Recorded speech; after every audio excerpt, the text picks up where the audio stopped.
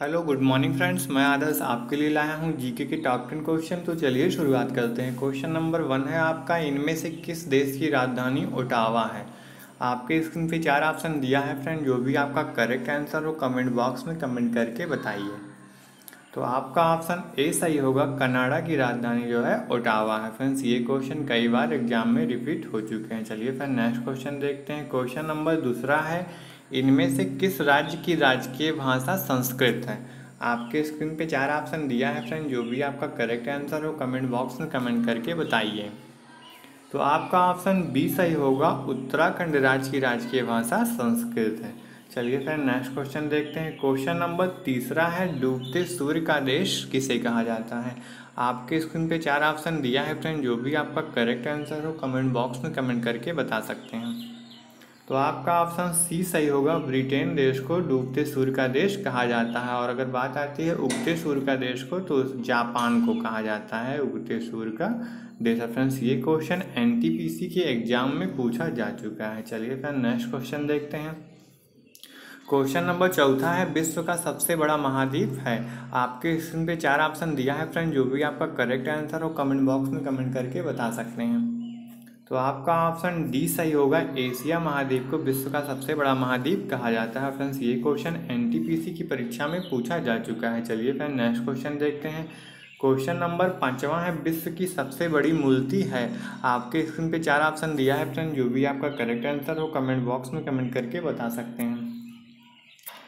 तो आपका option A सही होगा स्टेचू ऑफ़ यूनिटी विश्व की सबसे ऊँची मूर्ति है। चलिए फिर नेक्स्ट क्वेश्चन देखते हैं। क्वेश्चन नंबर छठवां है, भारतीय अंतरिक्ष कार्यक्रम के जनक किसे कहा जाता है? आपके स्क्रीन पे चार ऑप्शन दिया है फ्रेंड जो भी आपका करेक्ट आंसर हो कमेंट बॉक्स में कमेंट करके बता सकते हैं। तो आपका ऑप्शन बी सही होगा, विक्रम साराभाई को भारतीय अंतरिक्ष कार्यक्रम के जनक कार्यक्रम का जनक कहा जाता है फ्रेंड्स। ये क्वेश्चन रेलवे की परीक्षा में पूछा जा चुका है। चलिए फ्रेंड नेक्स्ट क्वेश्चन देखते हैं। क्वेश्चन नंबर सतवा है, अंतरिक्ष में जाने वाला प्रथम जानवर कौन है? आपके स्क्रीन पे चार ऑप्शन दिया है फ्रेंड जो भी आपका करेक्ट आंसर हो कमेंट बॉक्स में कमेंट करके बता सकते हैं। तो आपका ऑप्शन सी सही होगा। अंतरिक्ष में जाने वाला प्रथम जानवर जो है कुत्ता मतलब कुतिया थी, जिसका नाम था लाइका। कभी अगर नाम पूछ लिया जाए तो उसका नाम था लाइका। फ्रेंड्स, ये क्वेश्चन रेलवे की परीक्षा में पूछा जा चुका है। चलिए फ्रेंड नेक्स्ट क्वेश्चन देखते हैं। क्वेश्चन नंबर आठवां है। मरणोपरांत भारत रत्न सम्मानित प्रथम व्यक्ति थे। आपके सुन पे चार ऑप्शन दिया है। फ्रेंड जो भी आपका करेक्ट आंसर हो कमेंट बॉक्स में कमेंट करके बताइए। तो आपका ऑप्शन डी सही होगा, लाल बहादुर शास्त्री को मरणोपरांत मतलब मरने के बाद उनको भारत रत्न से सम्मानित किया गया था। और अगर क्वेश्चन आता है कि प्रथम विदेशी नागरिक जिसको भारत रत्न से सम्मानित किया गया था तो उसका नाम है खान अब्दुल गफ्फार खान। चलिए फ्रेंड नेक्स्ट क्वेश्चन देखते हैं। क्वेश्चन नंबर नौवा है रेमन मैक्स से अवार्ड पाने वाली प्रथम भारतीय महिला कौन थी? आपके स्क्रीन पे चार ऑप्शन दिया है फ्रेंड जो भी आपका करेक्ट आंसर हो कमेंट बॉक्स में कमेंट करके बताइए। तो आपका ऑप्शन ए सही होगा Mother Teresa option C question N T P C की परीक्षा में पूछा जा चुका है। चलिए फिर नेक्स्ट लास्ट क्वेश्चन देखते हैं।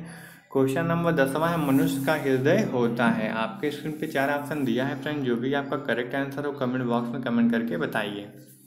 तो आपका ऑप्शन बी सही होगा, चार कोष्टक होता है। फ्रेंड्स ये क्वेश्चन एनटीपीसी की परीक्षा में पूछा जा चुका है। आशा करता हूँ फ्रेंड्स कि आपको वीडियो बहुत ही अच्छा लगा होगा और आपके लिए काफ़ी लाभदायक हो। तो फ्रेंड्स कल फिर मिलते हैं दस नए क्वेश्चन के साथ। तब तक like share comments and subscribe धन्यवाद।